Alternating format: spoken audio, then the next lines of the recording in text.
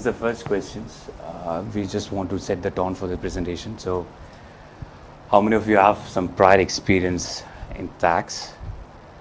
So, so you can use your mobile to give your polls.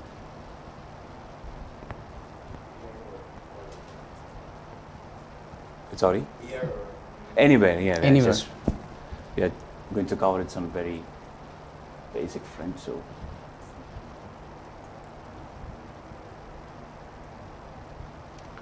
Lovely, okay. So, uh, yeah, maybe, yeah. Yes. Next. It's good. Uh, another question for all of you is, is your entity or the business which you are part of uh, VAT registered? because we have some connection related to our presentation today. We just want to see how uh, we want to take the session forward.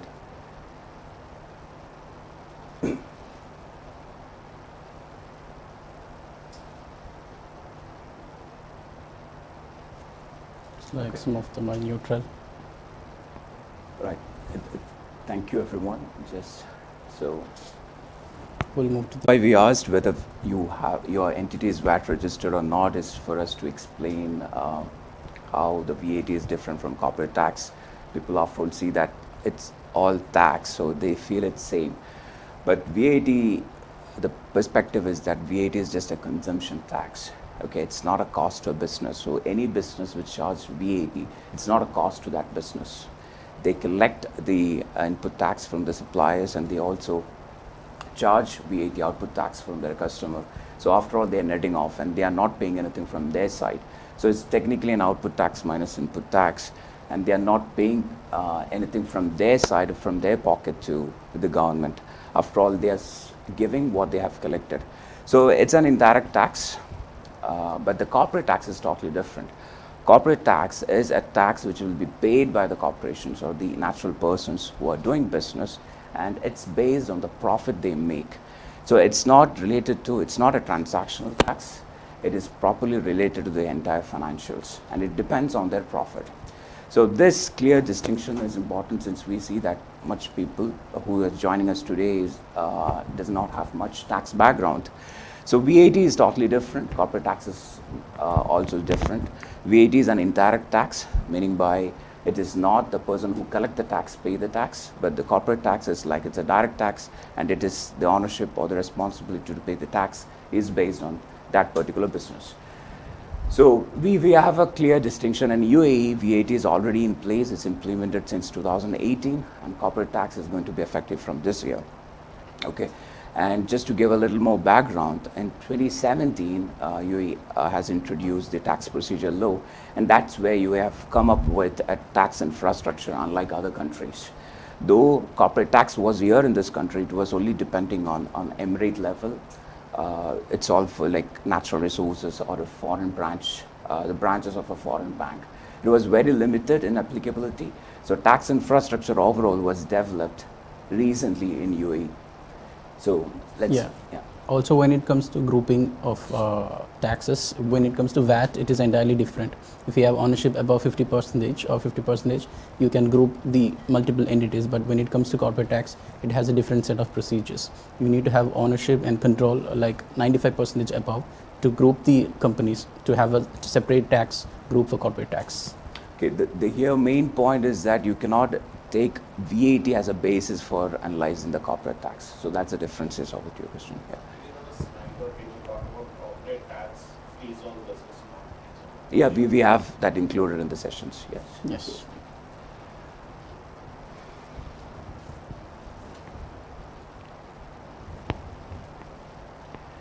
So just to give a little more ba background, we will not uh, beat around bush a lot, just give more advanced or administrative stuff, but basics um, the announcement of corporate tax was made in Jan uh, 2022. I just want to tell you that the corporate tax uh, is very well prepared by the government and VAT. VAT, the whole thing development took place in six to seven months in 2017. But the corporate tax, the government have been prepared well in advance. So at the corporate tax, the implementation date is effective from 1st June 2023, but the announcement was made in 2022. And this is the implementation date, the 1st June 2023, the uh, business with the financial year starting on or after 1st June 2023. Again, speaking on who is subject to corporate tax. Yes, so uh, this has been main uh, point in, of discussion when it comes to corporate tax. Who all are subject to corporate tax? So we can, there are three major categories that the uh, law has been uh, categorized, I mean explained. One is the natural person. So natural person means like people like us who do a business activity and uh, meaning like maybe for uh, as a freelance or do any carry any kind of business activity or a business uh, in the region. And there is legal person which is definitely obviously the companies uh, also any entities who is having a legal license. And then there is exempt persons such as the federal and emirates governments who have been categorized as exempts. Uh, now the more uh, most uh, I mean discussed topic was or category was the natural person how a natural person is subject to CT so to give you a very straightforward uh, example, like if you do trade or give professional services, or even even if you do a freelance license services, then you your income, whatever you are de deriving from that particular business activity, is subject to corporate tax. And there are more definitions and more decisions on ca categories to be specified by the cabinet moving forward and now not subject to CT, uh, your salary, your em employment income, your investment in real estate, dividends that you received, if you do any uh, stock exchange activities and you make any gains out of that activities, those are not included in the corporate tax. Yeah, so one distinction I want to say, I've told that corporate tax is a direct tax, but there is also something called income tax, personal income tax, which is applicable in other jurisdictions, other countries. So you should not mix both with the corporate tax. So here in UAE, a personal income tax is not yet announced or uh, it's not taking place and uh, exactly. that's what we believe.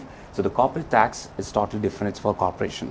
But having said this, it's also important to understand that it's also applicable to a natural person.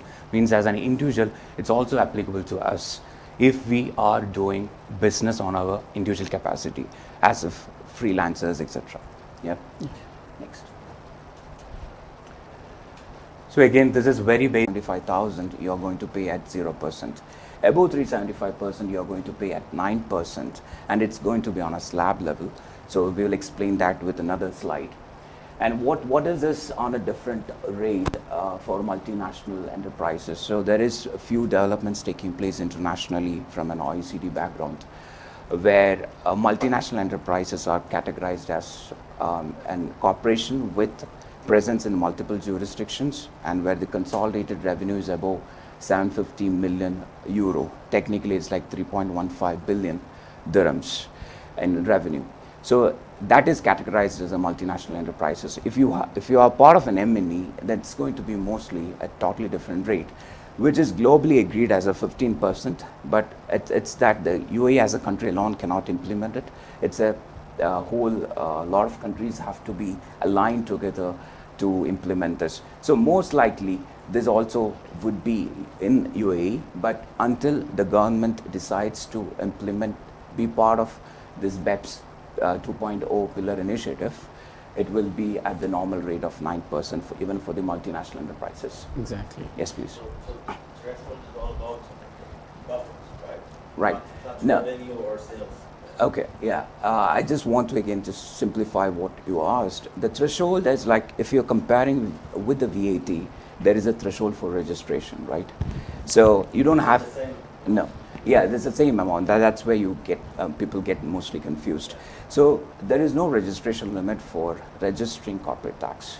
Okay, this here simply means that if you have a profit above three seventy five thousand, you are going to pay nine percent. If your profit is below 375,000, it's going to be 0%. On what terms you have to get registered, etc., will be covering in other slides. So on registration criteria, it's going to be different. Yeah. Next. So again, this is, uh, we, we don't want to complicate it, just try to simplify, but just choose which all it's, it's um, uh, key here.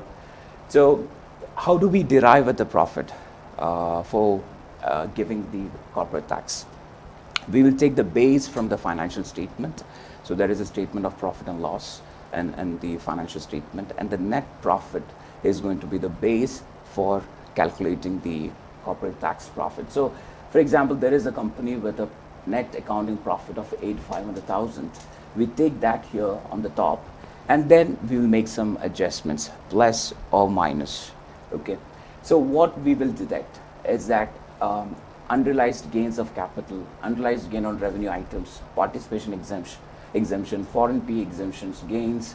So this is like a little more complicated. Again, it's it's purely from an accounting perspective. So there are a few transactions which we take into the books uh, just as part of an accounting entry. For example, uh, you you own a building, right, and it's there in your balance sheet, and the next year the value of that building appreciated okay? And as per accounting terms we are not eligible to book that entire revenue take that into the books. We take that as an unrealized or, or deferred gain. It's just a banking or the bookkeeping adjustment right? Actually you have not got that uh, gain. You get that gain only when you sell it. But that is already reflected in your financials so we are making some adjustments so it's a bit um, advanced. We don't want to take that much, but if you have any questions, we are more than happy to answer. Um, and also, we will be deducting um, some expenses, which will be adding back some expenses. So if you have some background on VAT, like the entertainment expenses are not allowed for taking the input tax credits, right? But that's different here in terms of corporate tax. They say that you can take even the entertainment expense, but to the 50%. For example, the whole event, this event is being conducted and there is an expense like there, unfortunately Ramadan, there is no food. But if there was a food, uh, it's, it's, it somehow will be considered as an entertainment expenses because in F&B. So for part of corporate tax, say 50% of the expense can be claimed. But if it's like, and, and from a VAT perspective, but actually that expense is not for doing the business. So the, government says that, that you cannot claim it as an expense for paying the corporate tax. So that expense, such kind of expenses will be added up.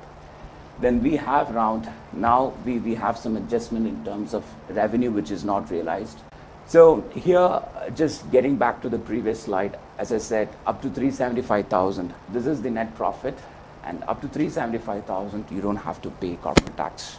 So the rest uh, is 75,000, which is 450,000 minus 375,000 and you pay 9% only on the 75,000, which is 6,050. So up to 375,000 of profit, you are covered. You don't have to pay corporate tax. So it, it is basically a relief for the smaller startups, small, medium businesses, and also for the startups. So any question on this? It's a bit, uh, we know it's a bit advanced. It's a kind of statement, a lot of adjustments. If you have any questions who will move to next. Thank you. So next. So we, we have uh, another poll question. We just want to know the level of understanding, uh, if you can. So if you can, Paul, what do you think, like whether your free zone company is subject to CT or not? Would love to know your opinion.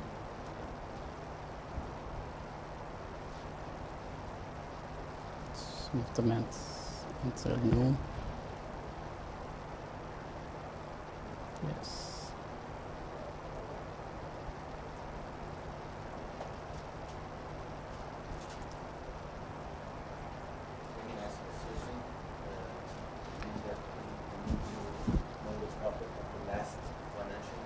No, the question just means that you think that whether free zone companies is subject to corporate tax or not.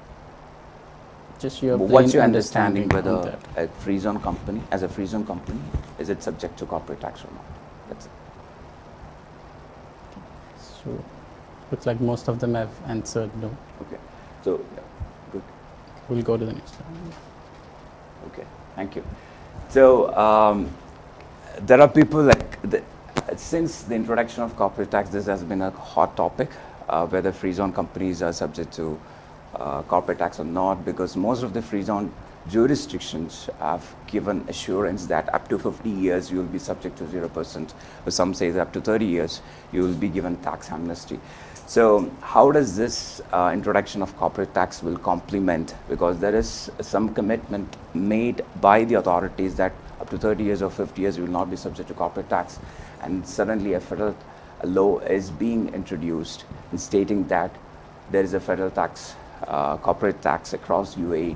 So th- this topic has been a very hot and, and uh, initiated a lot of sparks in the debates. So uh, again, it, it's from the government. I, I also feel that it's very, uh, it should be a tactical move. Um, they should protect the interest of free zones. There's a lot of foreign direct investments in the free zones. At the same time, they also wanted to not disrupt the market, not disrupt, create an imbalance between the mainland entities and free zones. So how they played out, and, and for me, it's, it's very interesting.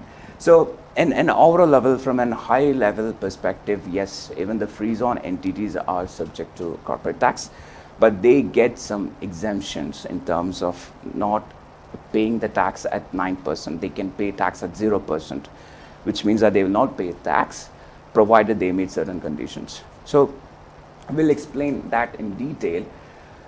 Uh, from this slide, one is called qualifying free zone entity, the other one is qualifying income. So these two terms which we have to understand in depth so that we can overall assess the impact of uh, corporate tax on the free zone, free zone entities. So um, the qualifying income for the qualifying free zone entities, which we will explain later, we have a poll question, but for the qualifying free zone entity with qualifying income, the corporate tax is going to be 0%, which means that they will not be paying tax. Again, as I said, they are going to subject to corporate tax at 0%. At 0% means it's, they are not going to pay, but they are still subject. It's not exempted. So there is a difference between being exempted and being subject to 0%. Being subject to 0% means it's still the tax is applicable, all the regulation is applicable, but they are not just paying the tax, but it's at 0%. So they have to comply with the entire corporate tax regulation.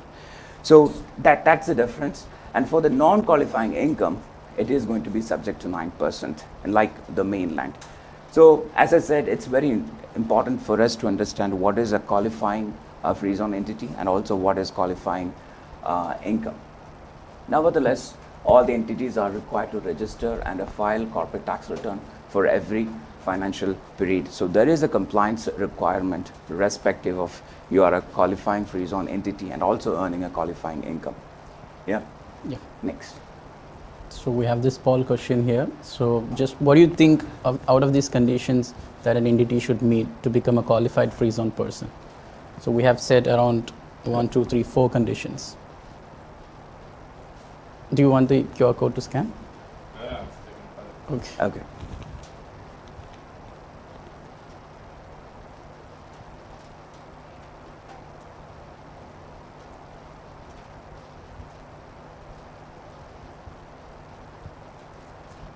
Okay, good.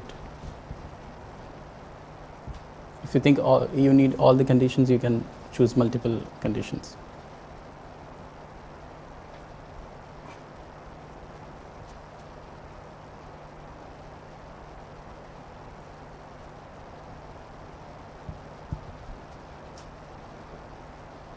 Right.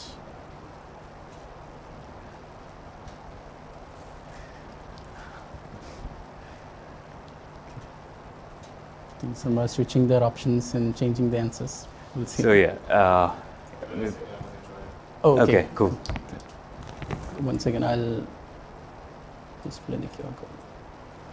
Okay, just read it.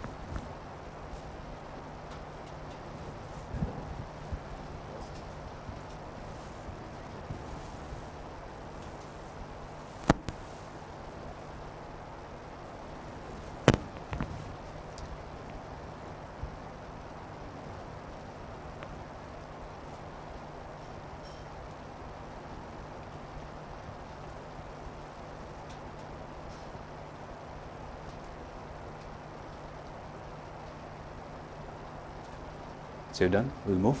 Just cool. Cool.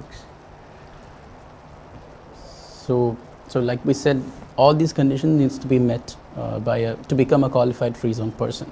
You need to have, you need to maintain adequate substance in your in UA in the region. You need to derive qualifying income.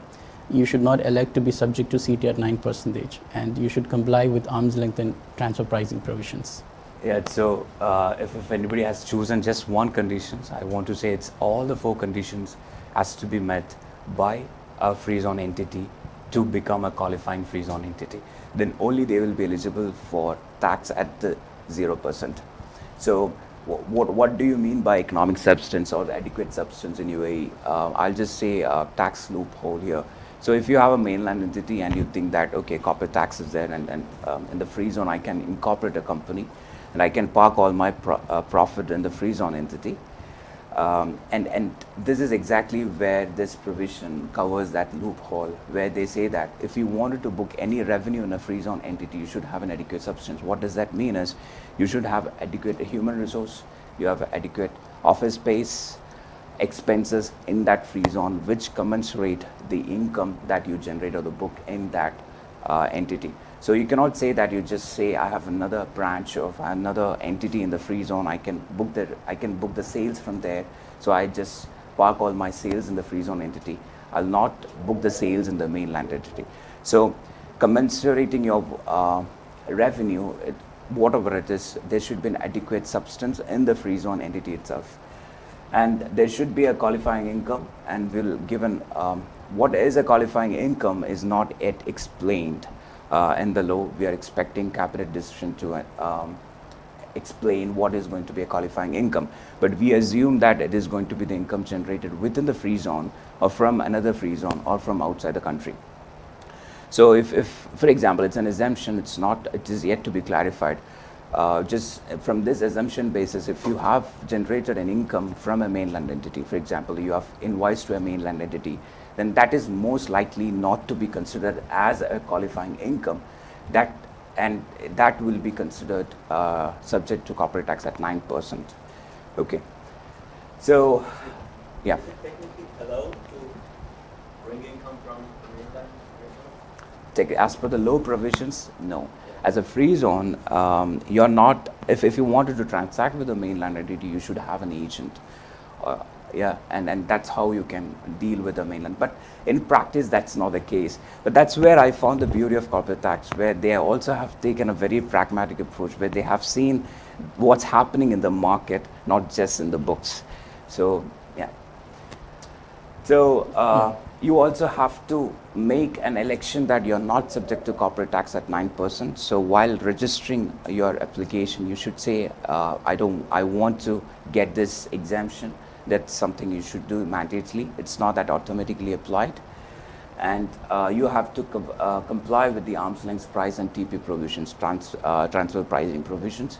Transfer pricing itself is a um, big chapter itself, and we'll just try to cover the basics on that. Sure. Um, next. So, Yeah. as I said, the qualifying income is not uh, yet been disclosed, uh, not known. Again, there are huge lot of topics and assumptions on, on, on this subject. It, it will be depending on qualifying income. What will be classified as a qualifying income um, will play a crucial role to determine whether free zone entities, to what extent free zone entities will be subject to corporate tax or not. Yeah. Okay. Now, transfer pricing, uh, so something which is entirely new for the entities in UAE, uh, entirely a new sort of record keeping requirement. So, to make it very simple, transfer pricing means uh, ensuring that uh, the transactions between your related entity has been subject to certain principles. So, one of the main principle that has been allowed by the authority is arm's length principle. Uh, to give you an example, for example, you're selling something uh, to an unrelated party at uh, X amount, but you're selling the same uh, service or same product to a related party with a different amount, so that you take an advantage of avoiding taxes. To remove that or to eliminate that, they have kept certain provisions, and the major provisions is transfer pricing uh, requirement. So any any transactions between your related parties should be at an arm's length principle. So now we'll see what are the conditions that uh, comes under the uh, transfer pricing provisions. So now coming to uh, what who exactly is a related party.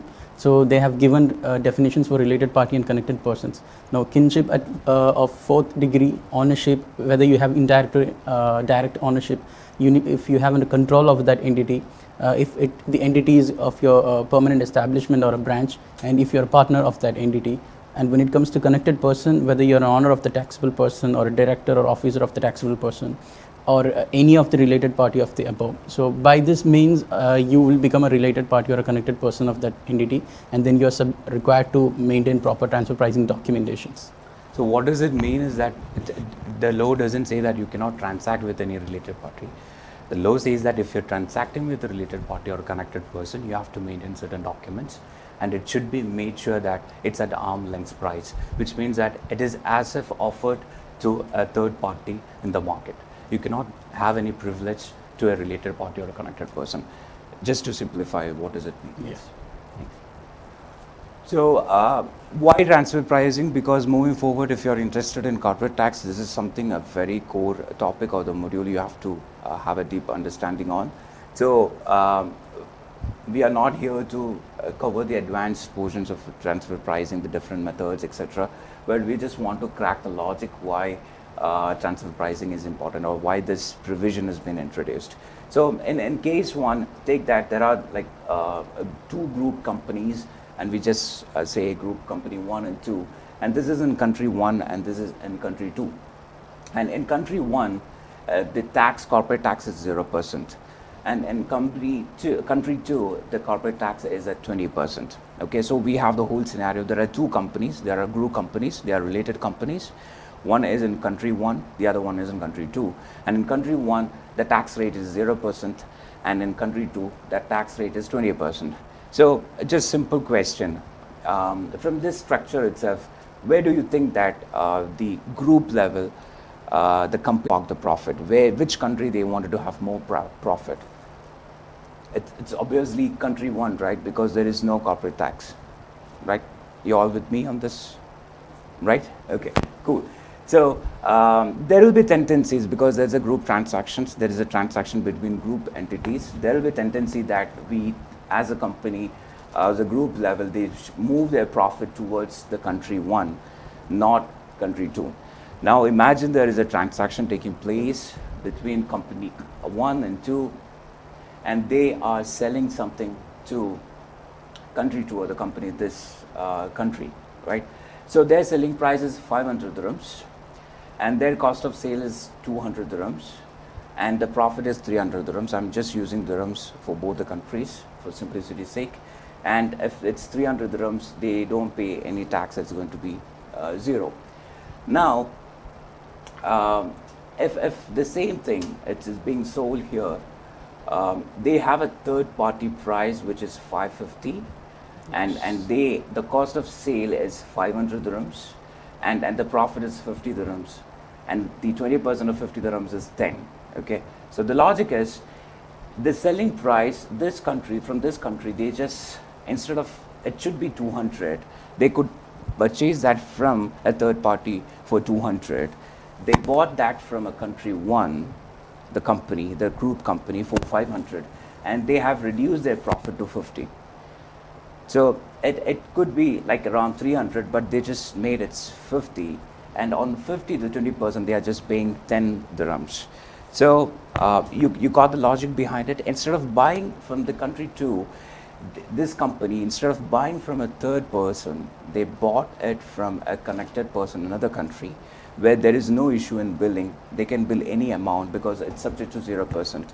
So this country, as this company has reduced their profit to 50 and they're paying just 10 currency dirhams uh, tax. So here overall there, there is actually a tax evasion where they're shifting the profit from one country to another country and there's a group transaction involved. And this is exactly the reason where uh, why uh, a transfer pricing policy document and, and a lot of regulation being implemented where the government says that if you're transacting with group entities, there should be adequate document and it should be at arm's length price. If this country, this country jurisdiction, uh, the authorities can easily ask question, you can get the same product or the same service from a third party for 200 why you have bought that from a group entity and what is the rationale behind? So such questions will be asked so that's one thing from a, even from a UAE perspective uh, there are a lot of headquarters um, in, in UAE in the free zones and in different uh, places and UAE is known for that so now the question would be asked on a different perspective including uh, transfer pricing that you cannot just simply raise any amount of invoices. You have to explain the your margins after all. Yeah. Okay. So this is a very interesting update which came last week. um, again, throughout the corporate tax law, it says that, even the consultation paper, it said that um, the government wanted to keep the compliance cost a minimum. They wanted to reduce the burden to startups and uh, small, medium uh, businesses. And this is one another welcome move, uh, which has already been um, said in the regulation that there will be relief for small business and startups. This just this update came last week. So, what is this update all about? Um, this, in, in, simple terms, says that if you're a business below 3 million revenue, uh, not profit, if you're a business below 3 million revenue, then you will be eligible to get a relief from corporate tax for two years. So it's important to understand this relief is not for um, infinity, it's just for two years. You will get a relief. And if your revenue is below 3 million, and in any year, if you exceed that 3 million, then you will not be able to get this relief. Okay. Another important thing to understand is that if you are a qualifying free zone entity, then this um, relief is not applicable to free zones, the qualifying free zone entity. So if you're a free zone, you should opt to be subject to corporate tax, then you can claim this relief, right? So there are few tax planning which can be taken place based on this overall uh, relief. This has come last year and, and clearly says that now, because of this relief, if any business is planning to uh, dilute their profit into multiple entities, like you have an entity, now they think that, okay, I'll start another entity so that I'll split the revenue, I'll split uh, so that I'll come below the threshold of 3 million. Um, then the general anti-abuse rule of corporate tax will be applicable. So GAAR technically says that if you're making any changes in the legal structures or the financial structure, then you should be able to explain the commercial rationale behind such uh, move and prove to the authority that it's not just to take the tax advantage. Yep. Yeah. Next. So now the administration and compliance aspects. So the CT registration portal has been open. So there is an uh, option to do an early registration and once you have registered then you should start preparing your financial statements. So uh, as per the accepted standards in UAE so IFRS is a most uh, accepted standard in UAE and then uh, you should then start preparing of and filing of CT returns. So uh, after your financial year end you have given 9 months to prepare and file your CT returns. And the same uh, deadline has been given for this payment of CT as well and then record keeping, you should maintain your books of accounts and all the records for at least seven years uh, to uh, so that like uh, it, it has been like kept uh, available for the authorities to do audit. And uh, clarifications there will be a mechanism uh, released by the FTA to seek clarifications by the public. So there is unlike like they have a mechanism for that there will be soon a mechanism within FTA to seek your clarifications.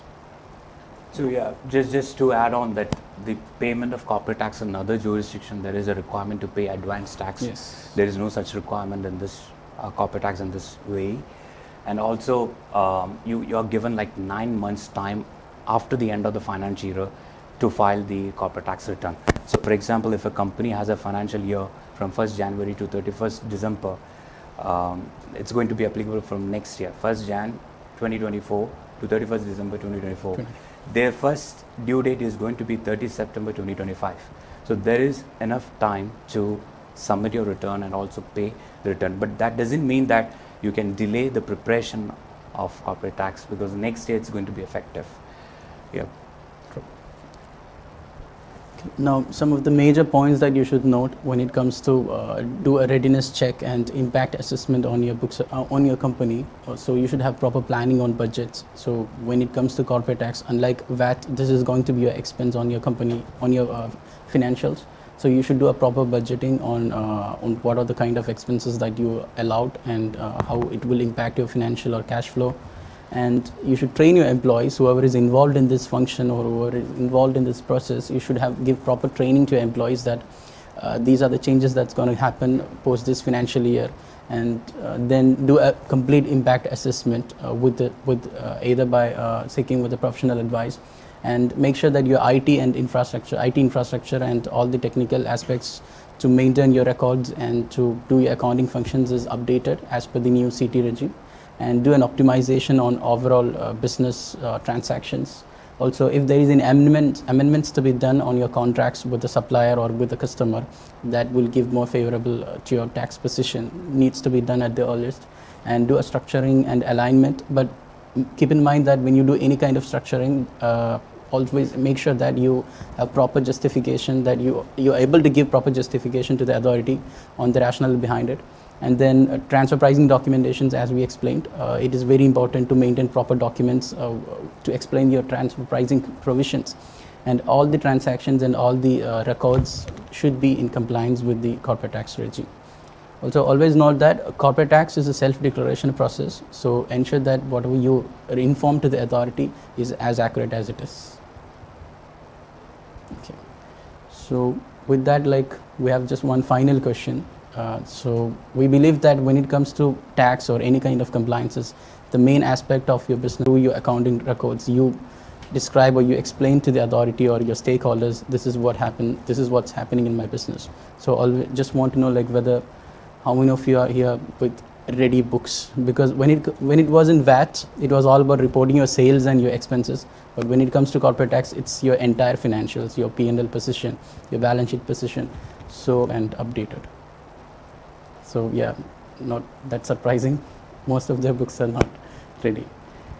So yes so with this uh, now we'll move to a quiz. So we'll just have a quiz uh, for whatever topics we have covered. So if you all haven't joined or if you want to join now i'll just display the qr code once again. Because if you win the quiz there is a prize and it and it, it will be a surprise. So make sure that you win the quiz you give correct answers. All right so i think yeah more people are joining so we'll wait for like 10 seconds and we'll move to the quiz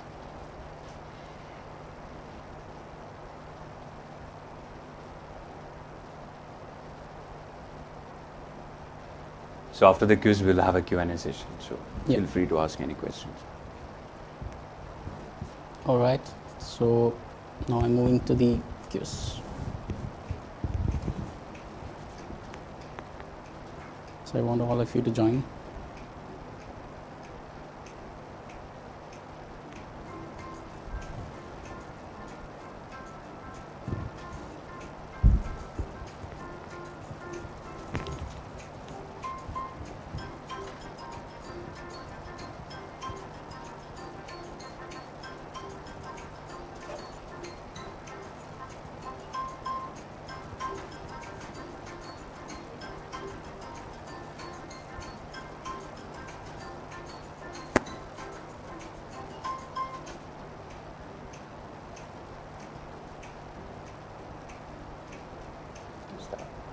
We'll start. We'll start the quiz, yes. Yeah. So we have around like 17 people joined. We just want to make sure that you have all understood something from this session. So Okay. So we are going in the count of three. One, two, three. Yeah. So here comes the first question. Arrange the tax calculation order. So we just discussed an order of calculating the tax. so now you're given like around five options. Now you would have to chronologically arrange the order. You can drag and arrange it. You can just click on that dragging option and just arrange the order. I just try to explain we are taking the base from a financial statement as a starting point. So once you have arranged, you can click on submit.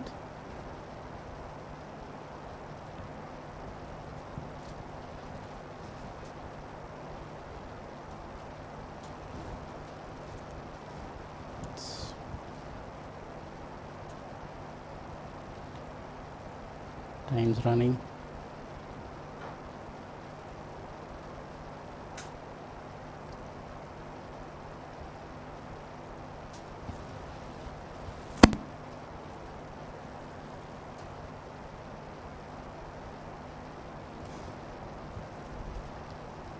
So yes, three, two. Was this question tough or easy? Tough? So we have around So yeah, we have So, at yeah. least four people answering it right.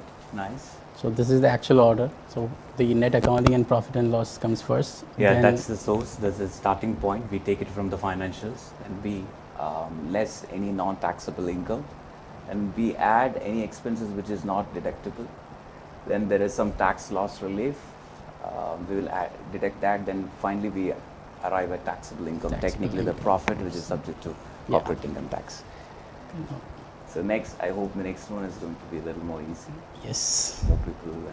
So here comes the question number two. So conditions of qualifying free zone person. So we just discussed certain conditions to become a qualified free zone person.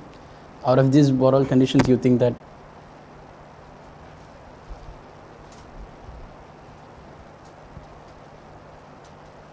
Okay. Time Running is out of up. time. oh, Okay.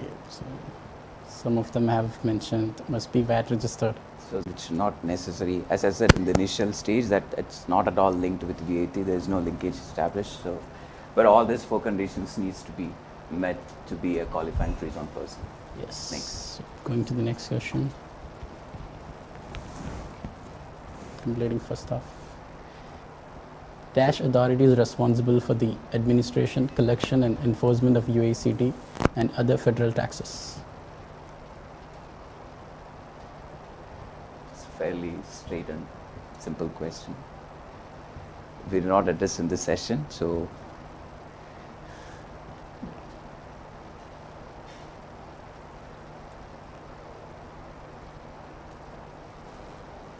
MOF means Ministry of Finance and FTA is Federal Tax Authority.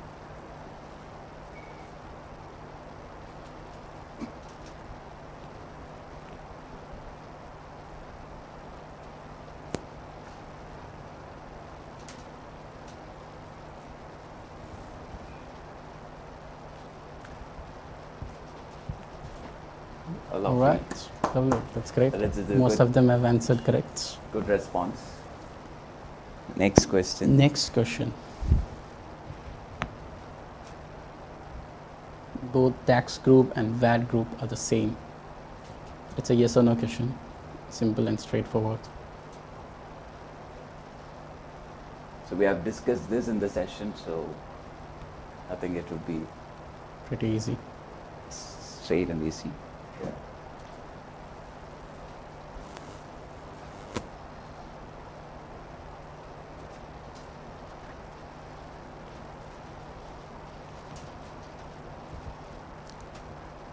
We Just started the quiz now.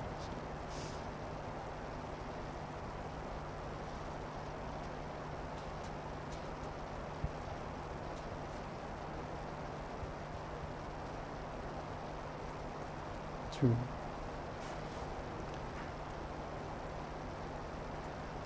A lovely, Okay. again, It's again great. good response. Good response for Uh, that. So, people were listening to our sessions. Thank you, everyone. Okay. UACT regime will become effective for financial year starting on or after. So it's very date? important to know. It's very, and the clause proximity. So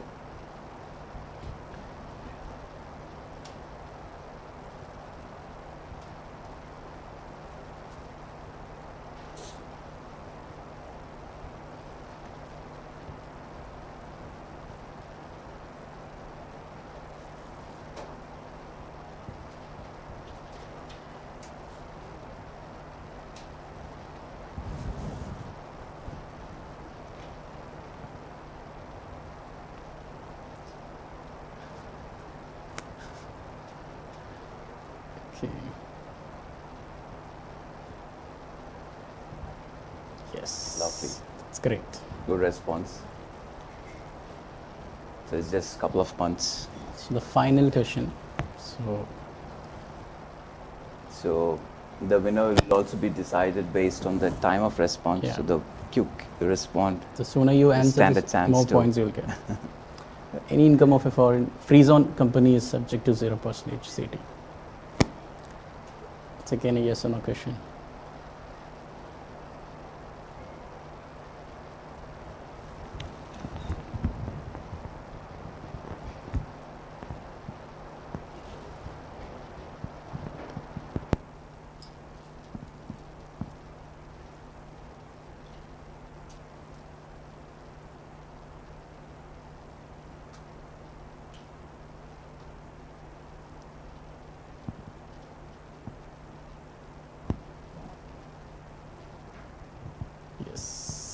Time's up. Wow, that's great. Good response. Okay, now let's see who's the winner. Uh, so that's The it. best part, yes. Best part. Gonna announce.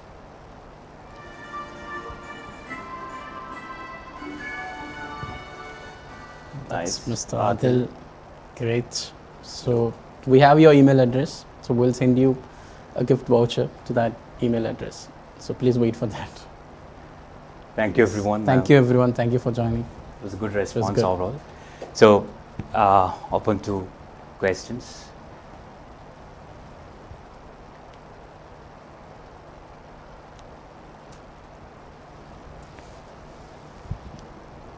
I have one question regarding Okay. uh, regarding the topic of using the free zone contracts to trade for the main.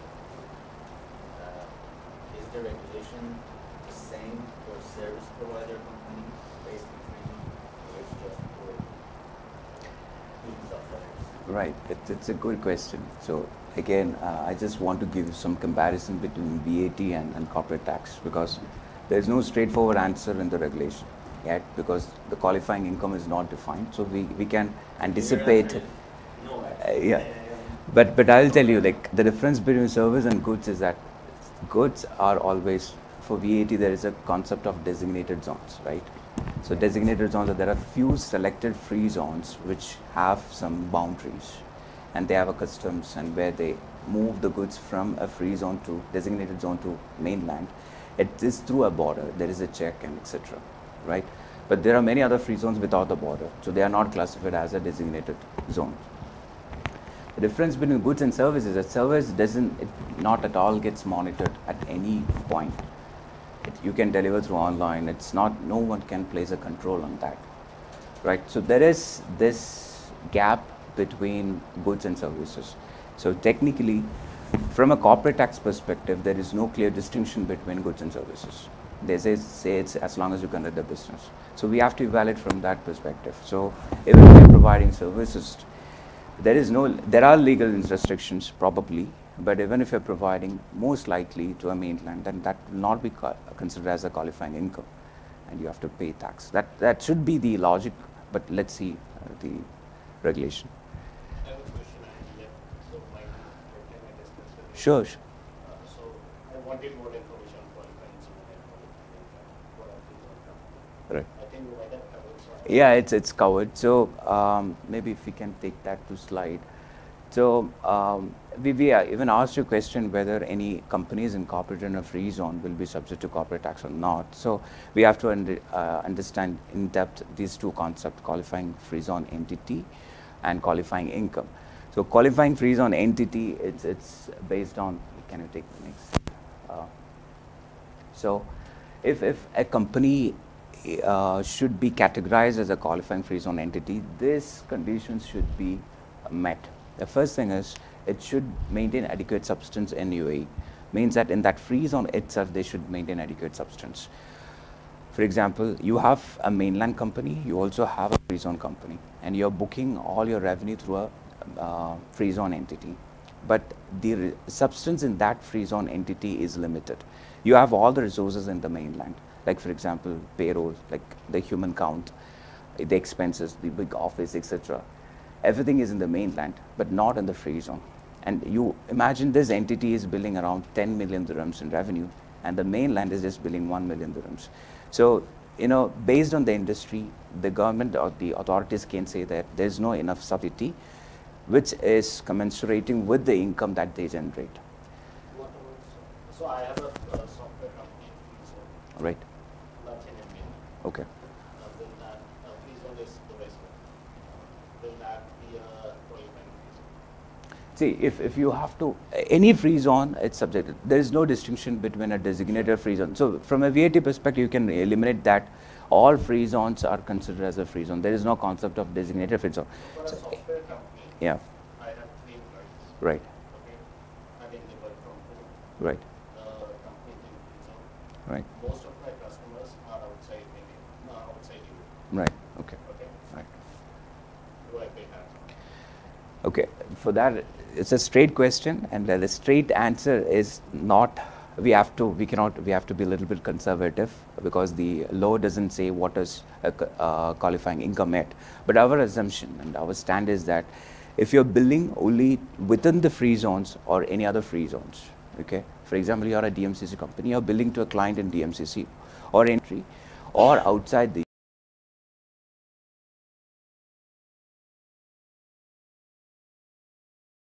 that means that you should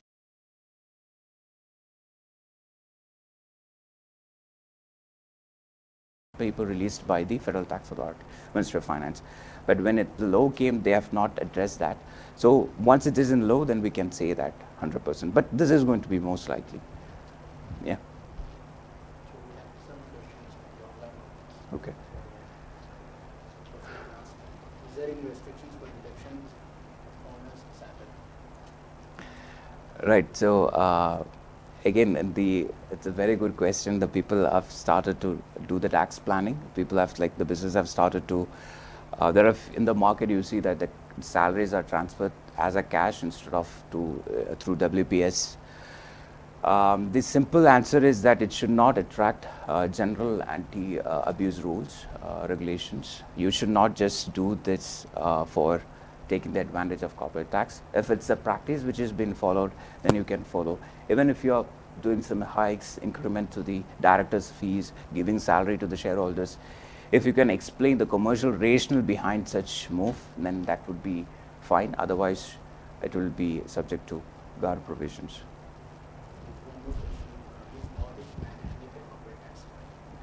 Um, as of now, it's not uh, stated as mandatory, uh, but Federal Tax Authority can request if required. But uh, preparation of financial statement and submitting the financial statement is mandatory. Uh, This is, we'll take one last question. So, uh, do I have to maintain two separate books of accounts if I have free-zone qualifying income and a? Um, again, we, we it, it should be depending on the cabinet decision. The logistics or the arrangements on uh, what all things to be maintained is yet to be announced by the Federal Tax Authority. But of course, it should be clearly identifiable because you have an income which is subject to 0%, the other one is subject to 9%. So there should be proper records in place to clearly distinct between these two transactions, nature of transactions, yes. That's it. Thank you. Yeah, please. Uh, with, with the mandatory delivery for corporate tax, do you agree that, uh, for the free zone company, uh, it would be better more focused on trading, uh, with the free zone than, uh, outside UAE rather than trading with the mainland, or if they want to trade with the mainland, move to mainland? Um, Because to be honest, uh, already costs in free zone are much higher than mainland. regarding True. License issuance, regarding the rents, office rent, and everything. So, See, um, if, if I would say another way is that you can also opt to be uh, fully taxable at 9% in the free zone. But considering we have to look at your financials where you can save some money. If you said, if you have a clear financial benefit, if you're just moving to mainland, if you're focusing on main transaction, that would also be a feasible option. But check your financials. What are the benefits you get? Then, then you can take a call. I would say yes. Sometimes, if you're being in a free zone, some expenses are, are comparatively high. But we also expect over a period of time the government fees. That's that's overall in anywhere in the world where there is a tax, corporate tax, then the such fees should automatically come down. And and we we are from we are actually from Abu Dhabi, so we've seen that almost uh, a drastic reduction in license fee from the mainland. And, and so such things do happen. I think it will take some time, but the cost of doing business should technically come down, and the government should focus. Um, enabling these private sectors to generate more profit so they can cut, take a cut from that. So that, that's an ideal economy system. So hopefully you will be reaching there. Yeah. Okay. Thank you. Yes. No distinctions. No, it's, it's subject to, right. Thank you. Thank you, everyone. Thank you for joining us today. Thank you.